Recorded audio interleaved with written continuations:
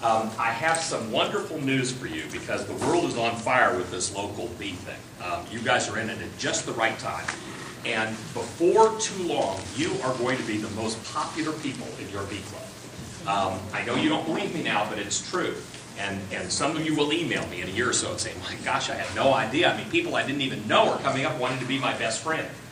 Because the Africanized bees are getting into the southern queen rearing traditional areas, and um, everybody's going to start to get scared. You know, they, they had the guy on the, on the bulldozer down there that was killed by the Africanized bees in Georgia. Everybody's getting a little nervous about bringing hot bees up from the south. And uh, these Africanized bees are not going to stop until they get to that line that they've drawn of heat and humidity. And because they, fortunately, they live, they're stupid. They live outside, you know, on, on limbs, and so they get up north, they die. But they can live during the summer if you bring them up here. And people are going to be very worried about bringing very hot bees up here. They're just nasty things to deal with. So this year, um, Gabe, all, all of the people that are raising local queens will tell you, I mean, my phone rang off the hook. Everybody wants queens. Every couple of days, I'm getting an email or a phone call from somebody in my area. And I've got so much demand in my area, I don't ship anymore. I've had occasional problems with shipping where you've had to replace queens, something happened, and, and so I don't have to ship anymore. And so I tell people, gee, I'm sorry, I, would love to help you, but you're three hours away or four hours away, I can't ship. I'll drive to your house. I mean, it's just unbelievable. So um, uh, you, you, as I say, are going to be very popular people soon. This is not rocket science. I swear to God it is not. Um, you come to Gabe and my class this afternoon, you will go home and you will be making queens next weekend. Um, we will teach you in 15 minutes how to make queens. We have queen rearing for dummies. That's that's me and me and Gabe Black back there, my buddy Black. Um, I I, um, uh, I started the West Virginia Queen Producers five years ago, and because of my efforts, I suppose it's because of that, because I don't know what else I've done. Uh, the West Virginia Beekeeping Association chose me as the Beekeeper of the Year in 2011, and that made me feel really good. The route to success. You see, if you start raising queens, soon you will be Beekeeper of the Year in your state. That's another road to success. Jim, I'm telling you, I'm trying to give them the glide path to the future. We did have some te technical difficulties, and if Jason can't figure it out, it can't be figured out. I uh, was so proud of myself, I embedded movies inside of PowerPoint. I saw somebody do it and I said, well, I'll do that. It piped it, it just worked like gangbusters, but the sound wouldn't go overhead. So we fixed the sound, now the movies won't play. So I'm going to have to switch back and forth. Jason showed me how to do it between my PowerPoint and the movies. So it'll take just a second between each one, and then I'll play the movies as a separate thing. They're not inside the PowerPoint anymore. I do want to tip my hat to Dana Stanley. Dana is your uh, head of, of, what I call the Ohio Queen program. It's been about 10 different iterations, but Dana's always been the one who's been constant throughout it. Dana is absolutely a visionary leader, and he's got it right up here. Dana and I work together. Um, we, we swap genetics between the Ohio program and the West Virginia program. We take their best, and they're going to take our best, and we're going to try them out. Uh, he's a wonderful guy, and he uh, let me use some of his slides because he had some really beautiful pictures. I think maybe Nina takes pictures or Dwight or somebody gives them yeah. to him. Anyway, um, so um, this is this is the girl we're all looking for at the end with the big uh, the big crocodile butt I say going out from the back of her.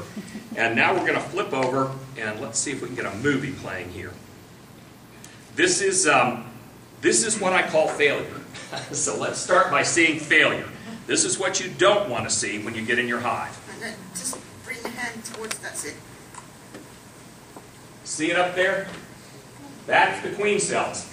You do not want the bees to decide they're going to make queens for you one day, because that means you're probably not going to get any honey out of that hive. Swarm, and so you don't want to open and find out that the bees have taken over your queen producing business. You want to take over the queen production from the bees. So um, this is going to be goofy going back and forth, but we'll do it.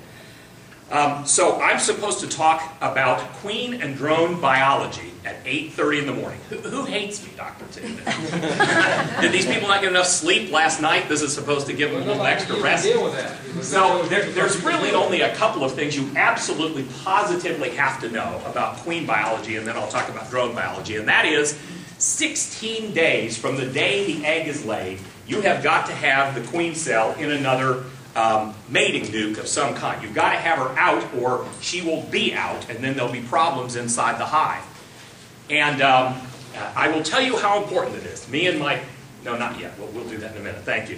uh, me and my partner Gabe, my partner in crime up there, raised our first batch of queens, and so uh, I took them back to my place in a finisher, and you'll learn all about starters and finishers, but we put them in a finisher, and I said, now get out here. 1, 2, 3, 4, 5, 6, 7, 8, 9, 10, 11. So Gabe, I'll tell you what, we'll come back on Thursday, and then that way we'll have them in our, get your mating nukes ready on Thursday. This is just this last Thursday. Have your mating nukes ready, and we'll pull that frame out, right, cap queen cells ready to go, pull them off of there, and have them ready to put in your mating nukes, and I'll have mine in my mating nukes, and we'll be fine. And then we'll go to, we'll go to Wooster, and we'll tell them all what great queen producers we are. So I thought we counted on our fingers and toes, and I lifted that frame up, and boy, Mrs. Blatt did not raise any dumb kids. Three of them had that little submarine hatch open. You know, there's just a hole in the bottom and an empty queen cell. And Gabe said, my God, look, three of yours are already out. you better go find them. They're probably fighting in there somewhere. So we grabbed the other one and put them in his mating nukes. So, uh, uh, and here's the deal. So, you know, you're driving up here, my gosh, I've got to tell these people that I, I'm teaching them queen producing and I screwed up two days ago.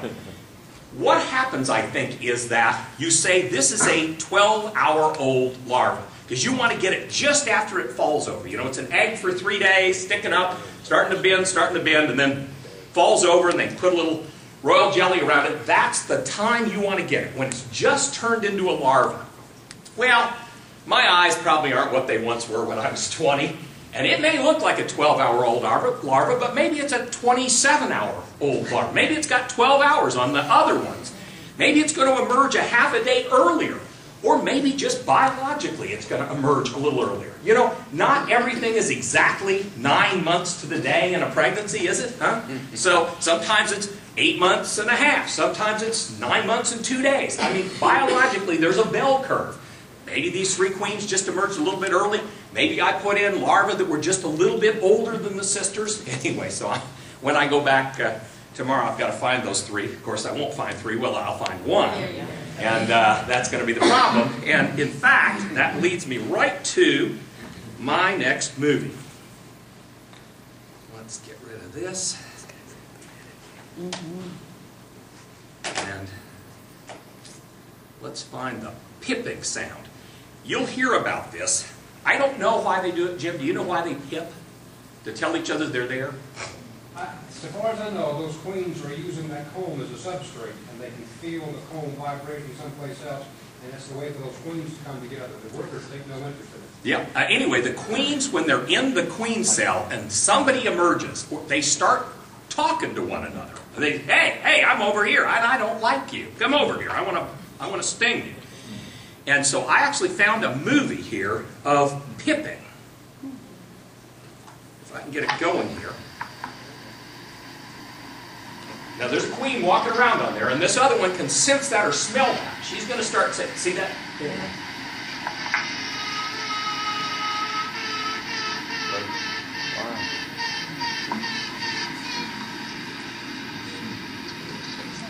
That's an interesting sound. and It's hard to be there right at the exact time. Somebody did a good job getting this movie. But I just thought it'd be interesting for you to hear it. I, I kept these 25 years before I ever first actually heard that inside a hive. All right, that's probably as much fun as we need to have with that anyway. All right, off with their heads. So that's pipping, and um, and my three queens that uh, Gabe wanted me to dive in that hive and go find, my three little virgins were all in there probably pipping at one another, and they were going to fight it out because they do not like one another. They one is going to survive when it's virgins. Um, you'll hear at some point about two queen hives of Roger Hoopingarner or something. That's after they've been mated and after they've come back, and sometimes you'll see a mother and a daughter on the same frame. It's been superseded, but not two virgins. Two virgins want to kill each other. And uh, Nina told me that they were in their uh, bees the other day and saw something unusual. And uh, maybe Dwight, Dwight's story. Anyway, this is getting around, but uh, they had a virgin. They saw her emerge, and she walked over the frame, and she grabbed a drone and just started stabbing that thing. I mean, she was just, maybe just in a bad mood. But anyway, that poor drone can't sting back. Maybe she was just practicing. I don't know, but I've, I've never seen a queen. She got a hold of this drone, and she was just giving it up the road. So anyway, they're just in a bad mood when they come out, and they just want to, they want, they want to go sting something. And uh, if they can find another queen, that's exactly what they'll do. So very, very important this 16 days, and in fact, I'm going to ask my friend Gabe and, and somebody else to hand out this queen calendar I'm going to give to you. you can start passing them out if you would. There is, uh, you can find these on the internet, or uh, Denny Lamb will take them to your house and tack them on your bee, uh, your beehive or whatever. Just keep records. Um, uh, even when I was keeping records with the queen calendar, I was off by just a few hours with our queens. But maybe take them out, uh, you know, don't wait until the last day like I did. Maybe take them out after the 10th day. What you don't want to do, here's the next important thing about queen biology. You don't want to move them between the sixth day. They'll be capped after the sixth day. In other words, they'll start building that big queen cell down and they'll cap it on the fifth or sixth day. You don't want to touch it between day five and day 10. The queen's in there, she's going through her various molts, she's developing wings, she's developing legs, she's developing thorax, and you don't want to turn that queen cell up and down. She can get she can get stuck in a certain position and not be able to develop properly. In other words, she's very fragile between day 5 and day 10. Leave them alone. Don't touch her. But after day 10, she's finished. She's just growing in there. She's fine. She's, she's not as fragile anymore. And so after day 10 of, of the days after you grafted, not day 10 from the day her egg was laid. Remember, you've got to add three days on because you're taking the, the egg hatches after three days. It's an egg for three days, then it becomes a larva.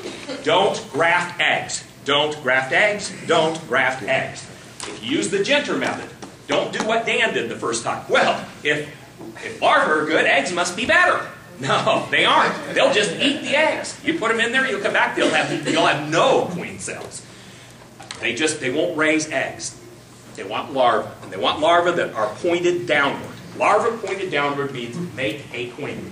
Something triggers something in them. So they're three days old when you graft them. Um, the younger the larva, the better the queen. You can graft them between the first day it's a larva, the second and the third day, and they will make a queen. But if you get them on the first day, you'll get a better queen than if you graft a two-day-old egg. If you graft them on the third day, it'll be worse than if you grafted a second day egg. You want it to be the youngest possible larva. Not an egg anymore, larva. How do you know it's an egg? There'll be a little royal jelly under it. Not much royal jelly, but a little royal jelly You under it. mean a larva? Larva, did I say egg? Sorry. Yeah, I'm being confused. No, sorry about that. You'll know it's gone from an egg to a larva because it'll have a little royal jelly underneath it. Now, the, the, the temptation, if you, if you graft, and some of you may graft, some of you may want to do it the hard way, the grafting way. It's the traditional way. Um, and, and in some ways, it's a fast way to do it. You will be tempted to take the larva you can see. That's a mistake. That's what Sue Cobey taught me. If you can see it, it's probably too old. That's the metric. So um, it's just such a tiny, teensy little comma of a thing in just a teensy little bed of royal jelly. That's what you're looking for. And when you come into this cell punch method class that Gabe and I teach, we will show you the way to do this. And you will be, you will be making queens in 15 minutes. Today, you will be making queens in 15 minutes. When you leave there, you will have so much confidence that you can do this. So, you don't have those eyes, do you? Are they in the other room? Gabe is going to go get you something that really, really helps. And they sell them in the bee magazines. It's a it looks like welder's glasses. They, there's a little strap that goes around your head, and then there's these, these eyepieces that come down. You can get them in 3X or 5X. And they make that little teeny egg look that big. Even I can see them. I put these eyes down and I look in and boing, suddenly, wow, that's what I'm looking for, right there. A teeny little larva with a little bit of royal jelly under. Here they are. Hold that up. You see what I'm talking about? This, whether you, especially if you graft, but whatever way you do it, you put this around, you tighten it, and you can go up and then down like this, and you look down, and suddenly it's 3x or 5x, and suddenly you can see what you're doing. If you graft, buy these. You will be glad. Even if you are young and think you have great eyes, buy that. Because you will be tempted to take a larva that's too old if you don't, because it's easier to see. It's, yeah. Will a regular magnifying glass do? Yeah, except, you know, you got a magnifying glass in this hand and you're doing it with that hand. This lets you have both hands. It would work, uh-huh. And in fact, they have, if you want to really go to the expense, they've got a light with a magnifying glass you can look through and a kind of a fluorescent light and a ring around it. And, and I, I've seen guys do that. They, they, they put that right down over there and they look down through the magnifying glass and the light is going right down inside there. And you can reach inside and graft or you can do the cell punch. So Clamps onto the desk. it clamps onto the desk. What about a pair of, say, magnifying reading glasses from the dollar store? Gabe, There you we have yours? Gabe, if, Gabe, my partner in crime in the back there, he found those, where'd you find them? Some kind of a Harbor Freight. Harbor freight, so, anyway, they- ninety-five or something. it's for people that do fly fishing and need to tie the little knots, and this, this little magnifier goes down right over your glasses, so Even there's, just a pair of regular reading glasses They possibly work. at the dollar something. Just something to magnify. something to magnify. You're getting the point now. You guys are all getting with the program. Magnifiers, make this big, so you're not tempted to take a larva that's too old. Um, and, and today, somebody's going to take you out to the hive and they're going to lift out a frame of larva, and you're going to look inside and go, God, this is so, how am I going to get that out of there and, and over into a, you know, grafting cell? I mean, this is, that's hard. That, to me, that's the hardest part of queen raising. so we're going to show you an easy way to get around that. But the first thing you need to do, see, I even have to put glasses on to see what I'm going to say next. All right, so all right, so let's see. My next one, pipping. All right, so now we want a virgin queen emerging. Let's see where that is. That. Bottom. All the way to the bottom. Virgin queen emerging. There we go. Let's see what this girl's doing. Control F. Oh, this is kind of neat. this is, I think, in Spanish, and it takes a little while. But this guy's found the queen cell in there, and he's taking it out. Don't do this at home. I mean, this is stupid what he does. He's got a big thing he's cutting it open with. But he wants to show you what it looks like when a queen comes out of this cell into the mating dish. so, the bees themselves, the worker bees, will actually go down and they will chew off the outside of the wax. You'll see they've thinned it out. It doesn't look like a peanut on the bottom anymore because they've kind of made it real thin. And then she's chewing from the inside.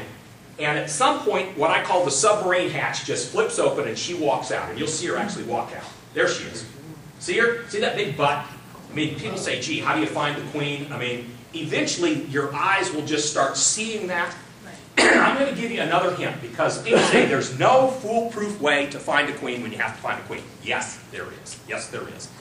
Take another queen, put her in a cage, put a cork on it, set her up on those top bars. And by God, your queen will come and find her. You will not have to find the queen. She will find you. And you wait about two minutes, and she will she will be up there. She will be going, "Who are you?" and get out of my hive because I want to kill you. So, anyway, that's there's a little tip when you absolutely positively have to find the queen because somebody's there waiting to buy it, and that's the day you can't find the queen. All right. Next, super, super important point. There's only about three or four things you really have to know about queen biology to get all this right. This, this is the holy grail of queen. That is royal jelly. Royal jelly. That's what makes a queen a queen. Everybody gets it for a couple of days. Queens get it for the whole time they're there. Queens have lots of it in there when they cap it over, so she keeps eating that. The more royal jelly that's in there, the bigger your queen is going to be. Size matters in queen raising. They have done test after test that the queens that are bigger have longer abdomens, which have more ovarioles in them, which have lay more eggs. They have the capacity to have more eggs before they run out of steam and can't do it anymore. so you want the biggest, longest queen, not one of those little stubby things. Get rid of those queens. You want a big, long queen, so you want that absolutely gobbed up with royal jelly. How do you do that? you do that by artificially creating a swarm type situation inside the hive, inside what we call the starter. You take a little uh, nuke box, Denny. Have, have we got Denny around here? Anyway, Denny makes them. Denny, Denny made me a fabulous little starter, and it looks like a little five-frame nuke, but it's on the sides. It's got all kinds of, of uh, screening, and it's a little deeper than a normal nuke, and it doesn't have an opening. You, you know, in other words, you're going to put a lid on it. And there's no way for them to get in and out. You only keep them in there for a day. But the best way to start queens is to do a starter without a queen in it. You want the bees to sense there's no queen in this hive, and you really only want young nurse bees in this starter. How do you get them in there? Well, hell, you shake them off of frames that have got eggs. Go in your hive, you find a frame of uncapped brood. If you can't, find capped brood, because the nurse bees will probably be around that too. And you shake those off into your starter. And then you shake some more, and you shake some more, and you shake some more, and you shake some more, until you say, there's not another bee can fit in this thing. Then you're ready. Then you're ready. Now, um, you put two frames on one side, two frames on the other, and leave that center open, and the, you know, of course, the bees will fill it up. And then when you've done your grafting, you just kind of gently work that um, uh, frame of grafted larvae inside that middle slot there, and they are desperate to raise queens. Desperate to raise queens. There is no queen. They've been looking around, they've, they've got no queen pheromone in them, you know, they're not passing it around like they do inside a regular hive, and they say, my God, if we don't get a queen, we will die. You don't have to leave it set for a little bit? Absolutely. Leave it set overnight or leave it set for 12 hours in a cool, dark place. But here's the genius of Mr. Denny Lamb and that he got out of Dr. Larry Connor's book that you were given here, because Larry Connor came up with this design. Our other partner in crime down in West Virginia is Wade Stiltner, and Wade has killed these little starters by leaving them in a cool place overnight, but these bees generate enormous amounts of heat. Enormous amounts of heat. And he's come back the next day and it's been dead. Dead from the enormous amount of heat. They have just burned themselves up and suffocated. So, the way Denny does it, and the way Dr. Connor talks about it in the book that you're going to take home with you, you put this, um, you put this screening all around so there's lots of ventilation so that they don't just overheat themselves and die. And there's extra room in the bottom below the frames for the bees to go down into, you know, so that you can really load it up with bees. And you put a little sponge in the bottom with some moisture for them so that they have something to drink. Leave them overnight. And then when you come back, A, they know there's no queen in there, so they really want to raise queens. B, their hypopharyngeal glands are absolutely gobbed up with this royal jelly. They need to get rid of it. There's no eggs in there anywhere. You've put in frames of honey and, and pollen, uh, because they need the pollen to make the royal jelly, and maybe a couple of frames, or maybe a frame of honey, and then just a frame of wax, because they also need to get rid of the wax. And when you put this frame of grafted larvae inside there, they go wild on it. They got to get rid of this royal jelly. That's how you can get 48 queen cells in a starter. That's how you can get 72 queen cells in a starter, 24, however many you got. They will load it up with this royal jelly, and that's what you want to see. The more royal jelly there is in there, the better off you're going to be as a queen producer. You're going to make big queens. When we pulled these, these uh, cells out of our starter, these things were just as long as your little finger and just as stubby as your thumb. That's what you're looking for. Nina, tell them about that thing that they pulled out. That queen must have been on steroids or Oh, she something. was huge, like a mushroom. Yeah, I mean, it looked like a big old chunky mushroom. That's what you want. Big, huge queen cells filled with royal jelly, and you know you're going to get a big, fat, long budded queen. Lots of uh, ability to lay eggs. That's what you're looking for. So that's the most important thing. Dr. Connor likes these um, kind of what I call transparent plastic things that you graft into. I'm, I'm more Mr. Natural, you know, I kind of like the, but the one advantage to Dr. Connor's thing is that you can actually see the next morning in this starter how much royal jelly is in there. You can, you can kind of see in there, you'll see that it's gobbed up with royal jelly or it isn't. And the ones that aren't, don't, don't put, pull them now. Don't, don't waste your time. Get rid of them. You want the ones that are just full of royal jelly. That's what, that's the best thing you can have. All right. So, let's get to, I've told you about, I've told you about failure. What I'd like to get to here is success. This is, uh, as I say, the royal jelly. Oh, here's the other important thing about queen biology. This is more like, you see how that larva is seated on one side. It's lying on its side in that royal jelly. They breathe through little spiracles, and they have them on each side of what we would call their neck. And the part that's up in the royal jelly, they have closed that off. I mean, hell, they're laying in jelly. They don't want that open. And they're breathing through the ones on top. When you go to graft, they will tell you, if you flip her over like a egg that's instead of over, you know, instead of sunny side up, it's over easy. You flip her over, she's, she's dead. She's dead. She cannot close these spiracles and open these fast enough, and she will, she'll drown.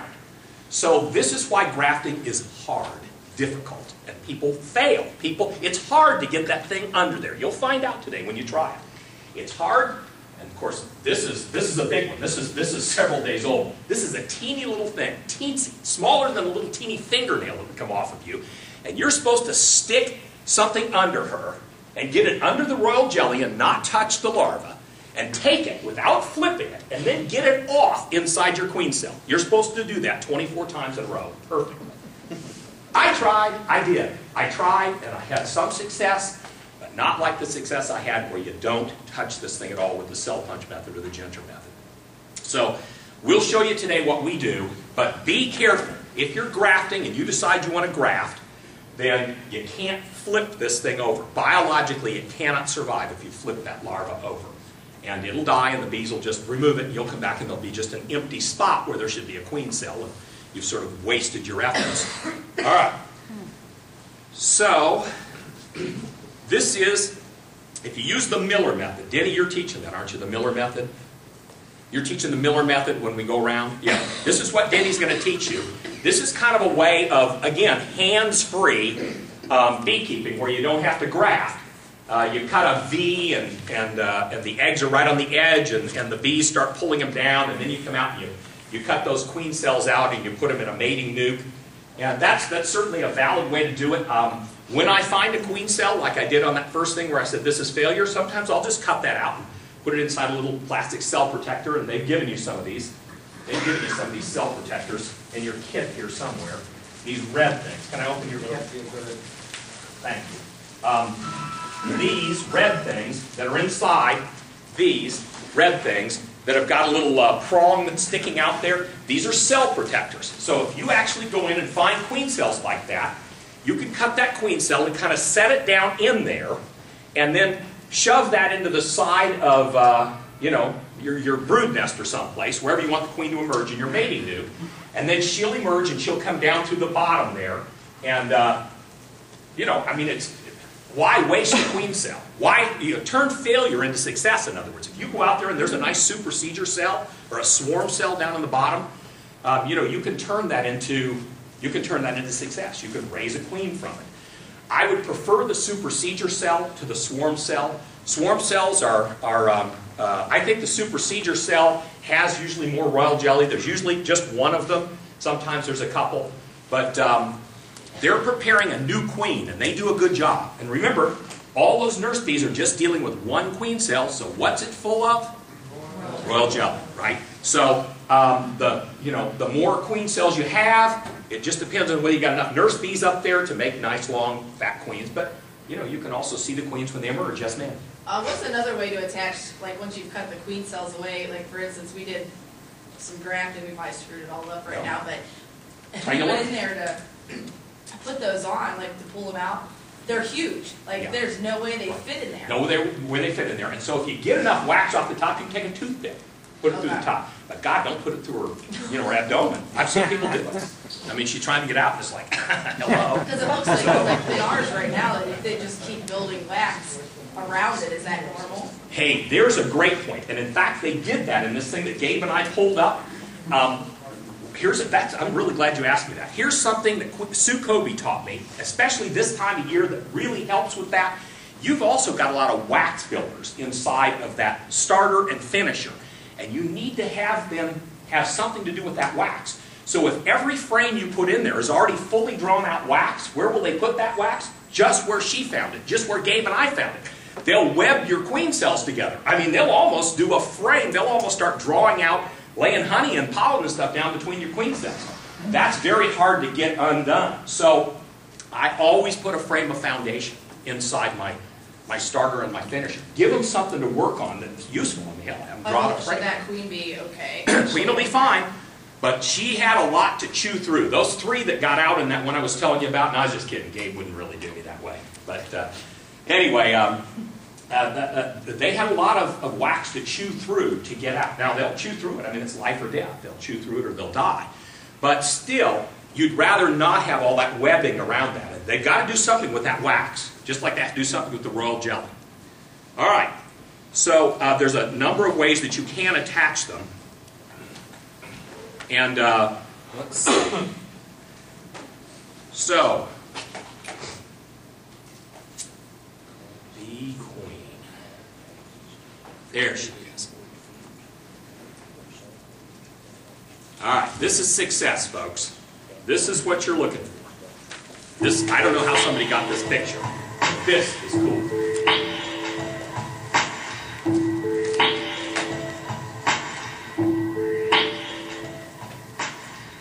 This is the queen emerging from the queen cell. I don't know that you'll ever, if you raise queens long enough, I guess you'll see this. This is what we're all shooting for, the day when this happens. And you have controlled every it from start to finish. And you can pat yourselves on the back and be proud of yourselves. Because you are raising northern queens and saving the world. Without you, there will be no bees, no beekeepers. Without you, this stuff will end.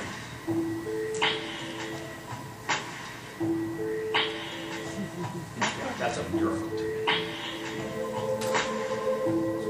See her fight her way out of that? You don't want that webbing around. You don't want to make it hard. You want to make it easy to be the girl in the next cell. you don't want to be the one that's an hour late. You're not going to make it out of the cell.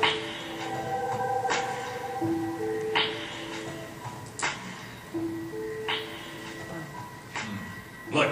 Ah, that's what you want, huh? Come on. That's right. All right. So, we are almost done with queen biology. I know you're having trouble believing that, but it's true. Um, because I'm going to jump ahead here to this, and I'm going to read you something. This is an email that Gabe Blackdot sent on to me from somebody who was sitting in a chair just like you're sitting in four weeks ago in Pikeville. And we told him in 15 minutes, we're going to teach you the easy way to raise queens. You come to this cell punch thing, and we're going to teach you how to do this. Dear Gabe, thank you for your help at the Queen class in Pikeville. This is somebody just like you who thought they couldn't do it. I have never had success at raising queens until now. I waited till I had a good frame of eggs slash day-old larvae, and I punched out 10 one-day-old larvae. Attached is a picture at day five. In other words, they've just capped the queen cells. Attached is a picture at day five. I believe I have eight or nine out of the ten that will make it. Thank you, Dick Mullen, Coshocton County Beekeepers. Now that's why we're here. we're here so that you can have this kind of success when you go home. Maybe you want to raise just queens for yourself. That's great. You know, improve your stock. Maybe you want to raise queens for just your bee club. That's great. Good for you. You're going to be heroes in your local area. Maybe you want to raise a few extra and become commercial queen producers. You are going to leave here today and be able to go home like Dick did, Dick Mullen. And you are going to be able to raise queens after today. And uh, people will think you're a magician, alchemist. How do you do that? Tell them how hard it is. Raise the price five bucks. You know, that's the other thing. Don't undercharge for your efforts. This is, you're paying money for this class. You've come a long way. You know, charge what they're worth. Um, I, it's hard to find queens for less than 25 bucks anywhere. So I hope they're not selling for less than that up here. Anyway, get, get good money for your efforts. You're entitled to it. All right, let's go back and talk a little bit about drone biology. Um, this is the, this, I know you think it's the other end, but that is really an important part of drone biology, those big monster eyes up there. Those eyes have 10,000 facets in them, as opposed to a queen who has 2,900.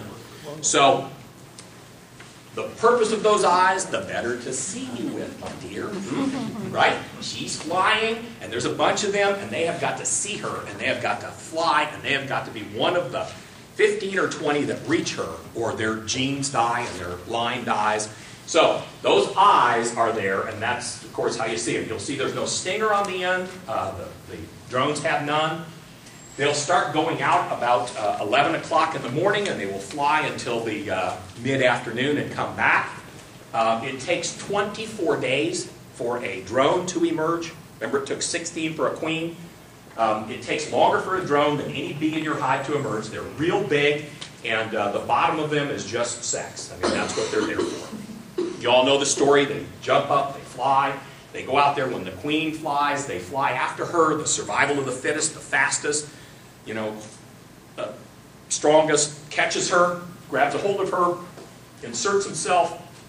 The um, pressure inside of his abdomen causes him to burst, pop, falls back to earth, dying, happy. So he's done his thing, and uh, the next one comes, he yanks out what's in there, inserts himself. Anyway, we now know that queens mate with a diverse group of drones. We are told that they fly past the closest drone congregation area, which would be their drones, onto something a little more distant, where there's drones that are not related to her by blood or marriage. And um, so hopefully she, um, she mates with uh, drones that are not biologically close to her, because if she does, the sex alleles will match. If they do, they give off a certain kind of smell. The workers will sense that smell, and they will take that, and they will yank that egg out and eat it. They waste nothing in the hive. It's protein, and they eat it. So if you have uh, a brood pattern, and there's you know, big holes all through it, she is not well mated. She did not mate with a diverse group of drones which are biologically distinct from her. Don't sell that queen. Get your head off. And that's why we wait a week or so to begin to see the pattern before we sell our queen. That's why we leave our queen in the nuke and make sure that she is mating good, uh, that she's well mated and has a good, um, strong pattern of eggs.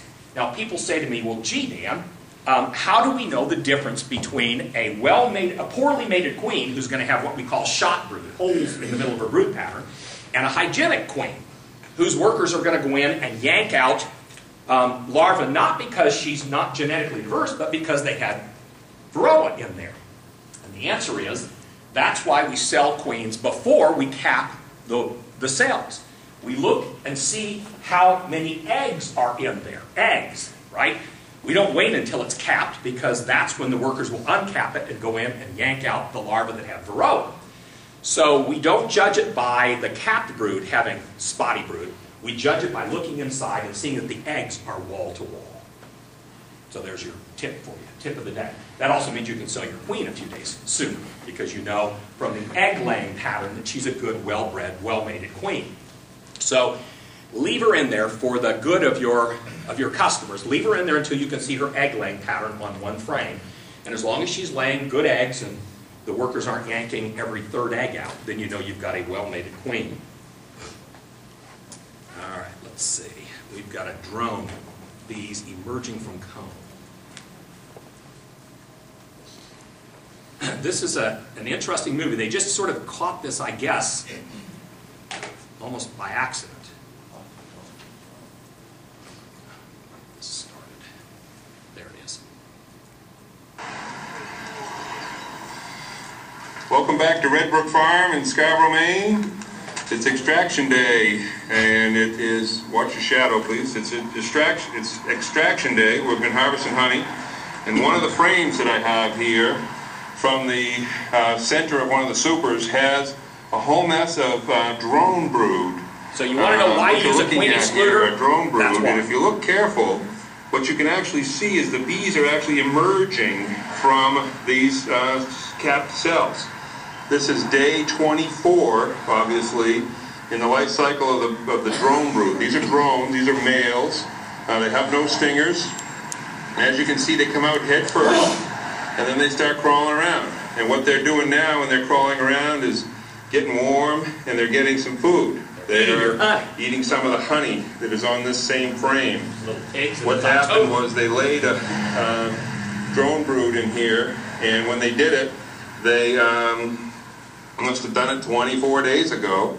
And the bees that are out here on, on this frame right now, the bees that are on the frame moving around were not here, you know, an hour ago. They've all been hatching, and you can see them actually eating their way out. Their first job is to eat their way out of the frame, and then And you know what they they're, do is, they're uh, drone, not worker, because they've got that little bullet head that sticks out. way out the bigger, frame, so it, it has to stick uh, out. cell, and it's kind of an interesting shot here, you know, right in there. Very interesting shot. You need about 200 Drones drones, on their first, in their first hours of life. These There's about have no 200 in every hive. So, and on the other side, same thing. What you'll see here is three or four of them, they're all cutting their way out. This is day 24. All right, we've heard enough, haven't we? All right, so people say to me, okay, Dan, well, I'm a queen producer. I need more than a couple of hundred. And uh, it takes the drone about two weeks to become sexually mature. They're not mature. They cannot mate the day they come out. That day, they could not go out and fly and mate. It takes a couple of weeks for them to mature. So um, you need to know that, uh, that the time that you can start grafting larvae is when your drones are emerging. Right? Because it's going to be then about 12, 13 days from the day you're grafting, before your queens come out. It's going to be two or three days before they go on their mating flight. So that's one of the rules of thumb in beekeeping. When can I start raising queens? When you start seeing drones emerging in your hives. Then you know that two weeks from now your drones will be sexually mature. So when you send your queens out, there will be drones in the drone congregation area for your hive and other hives that will mate with them. So that's a good metric for you to know when you can start raising queens in Ohio, when in your area of Ohio, when you start having those drones emerge inside of your hives. So people say to me, Dan, if the queen and the workers are only going to naturally want to raise about 200, um, but I'm a queen producer and I need 20 drones to mate with every queen, and, and that would only be 10 queens worth there. That's if they all survived and all got out there and they all got mated. You know, that's cutting it pretty close. How do I get more? Because I have a, I have a hive that I think maybe has hygienic genes in it. So I want that to be my drone source if I can be. And so how am I going to do that? And here's the answer. The, they sell those green Pierco frames that are drone, and, and they use them for Varroa control. You get them to lay, and the Varroa go in that one, and you stick it in your freezer and kill them all. And so what you do is you put that frame inside of your drone mother source, and then they'll raise not 200, but 2,000 drones. And then the, the time that you think your queens are going to go out and mate, take a queen excluder and put it underneath the lowest box inside your other hives. And the drones can't get through and get out and go to the drone congregation areas. Huh? There's another little tip for you. So, also remember I told you the queen wants to fly to a place that's beyond the local drone congregation area.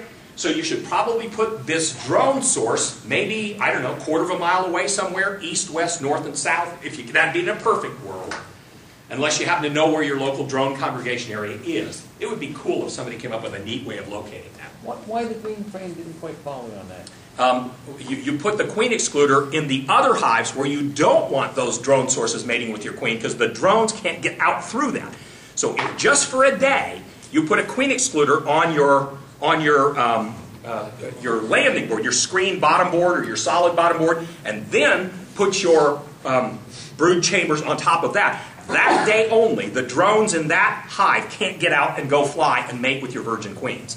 It's just a way to kind of try as best you can if you're going to open mate to get the drone sources you want and not have the drone sources you don't. I mean, there's a reason you didn't graft from the queen in that particular hive. You didn't like her for some reason. Well, hell, if you didn't like her, she is carried inside the drones in her hive. If you didn't like her, you're not going to like her daughters. So, if you have two wonderful hives of bees and you're grafting from one, you want the other to be your drone source, make sure a couple of weeks earlier you put the, the drone frame in there and had her make thousands of drones in there because that's all she'll lay. A queen spreads her uh, back legs and depending on how wide the cell is, she will determine this is a worker cell or a drone cell. I know what to lay in here. It's based on the, the width when she measures that. So that all they can make on those frames are drone cells that are bigger. So when she gets her, she says, I don't know why they want so many drones, but I'll lay another one. I don't know why they want another one, but I'll lay another one. So it's just it's just instinct when she gets there. So it's just a way of getting thousands of drones out into your drone congregation areas. Yes, sir. If you just put a frame with no foundation in the hive, Another great idea. they'll Perfect. want more drone cells. They'll draw them that way. Absolutely. And if Another you great want, way to do if you want to find your drone congregation areas, Yes, I've sir. heard of people putting a helium balloon on Yeah. a fishing rod and putting a queen pheromone on it and walking around until the drones Yeah. lob the balloon. Yeah, I've heard that too. But you'd have to you'd have to have some sense, in my view. And drone congregation areas are off, often at conjunction points. You know, a, a hollow with a little intermittent creek that comes down, and then it, and then you get to the bottom. It's often at a place where two things come together. And there's there's usually kind of an open area in front of one of them, so the bees can easily fly to it. I've never found one, but I haven't gone looking either. But you'd have to look at an enormous area. It'd just be really cool. The only thing I saw was one time they brought in this radar thing, and they actually picked up the drone congregation area on radar. They could see this little cluster of moving things. Anyway, I've always wondered, when the queen goes out and finds her drone congregation, hopefully, and gets made and all that stuff, how, how does she find where she's supposed to go? Which hive she's supposed to return to? um, that's a really good question, especially because we often set up these hives, and I'm just about done. We often set up these mating hives that look exactly the same. God, I wish I had a picture of Wade Stiltner's crazy. It looked like something psychedelic from the 60s. He's got polka dots of different colors and different designs, different colors. What I do is I keep little stickers. You know, you get something in the mail that's a little sticker, maybe it's a political sticker, something that's a circle with different colors. I stick those right above the place where the queen comes out of whatever hive I've got her in because they'll go out and they'll orient. They'll do a little orientation flight, just like your worker bees do when they first go out and they take a little orientation flight. She orients herself. And so she'll orient herself geographically, but that just tells her, well, this is about where it is. But she's got a great color sense just like bees do. So if you've got a yellow hive and a blue hive and a green hive, she'll know hers is the yellow hive, and she'll come back to the yellow hive. So I always paint my little mating nukes different. The spinners we put on the front. Spinners. Um, are, those come from Better Bee, Mann Lake, who, who sells them? Somebody. Betterbee, I think, has got this spinner, which is the coolest thing ever. If you've got mating nukes that just have the little hole in it that they come out, um, these spinners are circular, and um, and you can get different colors of these. They, they come in five or six different colors. You screw them on. One of them opens it wide open. Uh, the next one opens it just for, in other words, it's a queen excluder, and then the other one closes it completely, but it ventilates. So that's another way to put a different color on the front of your mating nuke. So I would urge you to do a color, a pattern. Yes, sir. Bees can count to three too. They've found if you put three dots or three lines, one, two, or three, they can. I always do it in, in, in threes, like he said. So I do a triangle or I do a line of three when I put these little stickers on the front of my hive, and she will orient to that. Ronnie, we about done? About done. All right. Um, folks, uh, again, uh, we'll be, you'll be able to question Gabe and I when you come to our cell punch method, but um, we do want to hear from you. Uh, we do want to hear that you went home and uh, never thought you could do this, but you were raising queens and that you got eight or nine out of ten. And whatever you do, count, count, count. Don't be like me and Gabe, or especially like me. All right. So thank you very much. We appreciate you, and uh, we wish you lots of success. And uh, this is the queen. This is an example of a queen calendar that Nina likes best because it's kind of colorful. You can find these if you Google them. And then this is success. This is what we're looking for. Thank you, folks.